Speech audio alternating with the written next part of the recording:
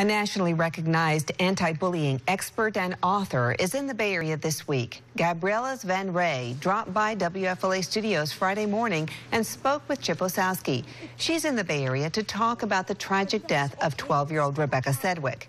Van Rij says parents need to be more involved and communicate with their children about bullying that it can be your child, the bully. And that's okay. It's still a child. All we need to do is be aware of it and then adjust and talk to the child. Communication is really important. The case involving Rebecca Ann Sedwick is still under investigation, and if detectives can track down who was behind that cyberbullying, they could face criminal charges.